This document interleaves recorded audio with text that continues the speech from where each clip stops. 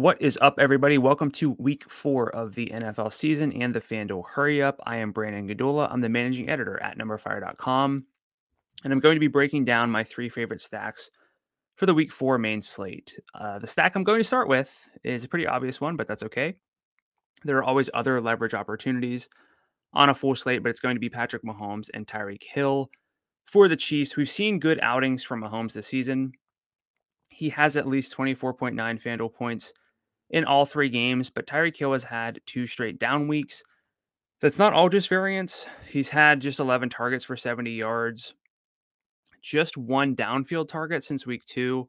Uh, but the Chiefs are at one and two on the season. They need a win this week. Hill cannot be limited forever. While the Eagles do rate out well against the deep ball, they've faced no competition quite like this, and Dallas beat them early and often in week three.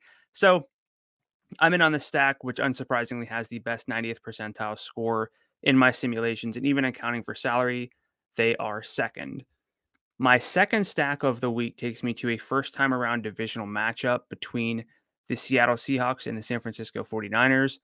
The total is 50 points according to FanDuel Sportsbook. And it's always easy to sell us on Russell Wilson. He's been quite efficient this uh, this this season so far. I'd love to see a little bit more rushing than what he's been giving us, but he also has inherent added value as a stack candidate because we know where the ball is going. DK Metcalf and Tyler Lockett account for 56% of Seattle's targets and 80% of their air yards right now.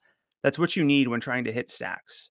Metcalf hasn't flashed as much as Lockett, but actually has a better uh, overall role based on the underlying data.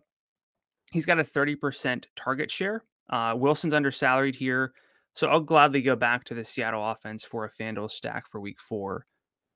And then I'm going back to that Chiefs game on the other side of the ball with Jalen Hurts and DeVonta Smith, while Smith's salary remains under 6,000. Smith's just one of six receivers in the NFL to have run at least 90% of his team's routes in healthy games while maintaining at least a 20% target share, a 40% air yard share, and at least two downfield targets per game. That combination of volume and leverage can lead to a big outing when it all clicks, and they're playing at home, which is generally when we see these high aDOT receivers pay off. As for Hurts, he is playing to the opponent expectation so far in terms of efficiency, but he's also averaging just shy of nine carries and 60 rushing yards per game. That adds a ton of value to his salary of 7,900. Against the Chiefs, he should be running plenty when he's dropping back, scrambling, uh, making a lot of plays. Uh, and that's going to flow primarily through DeVonta Smith. That'll do it for my favorite NFL stacks. Best of luck in week four. Let's double dip on those touchdown passes on Sunday.